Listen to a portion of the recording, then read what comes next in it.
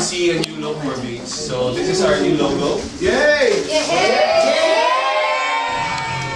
Hi, I'm Mitos Borromeo. I'm Bates' um, Chief Business Strategy and New Business Development Consultant. Um, we're here right now with a new logo of Bates. We've just launched to the staff this morning and around Asia Pacific. What this logo signifies is a new philosophy, a new way of thinking and developing communications for our clients. The most um, striking feature of this logo is the speech bubble because mm-hmm. that signifies engagement, conversations, not only between us and our client, but between brands and the consumers. Cheers, everyone.